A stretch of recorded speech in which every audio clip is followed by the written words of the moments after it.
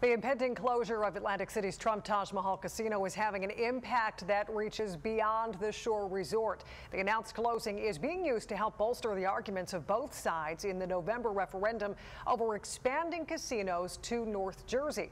Proponents of adding casinos up north say New Jersey is already losing business to nearby states, so new casinos are needed closer to its Garden State customers. Now, opponents argue that Atlantic City's casinos are already so fragile that three or more may close when faced with new in-state competition.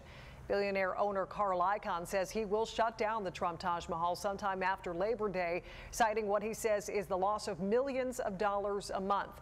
Atlantic City's main casino workers union has been on strike against the casino since July 1st. Voters will decide in November on whether to add two new casinos in North Jersey.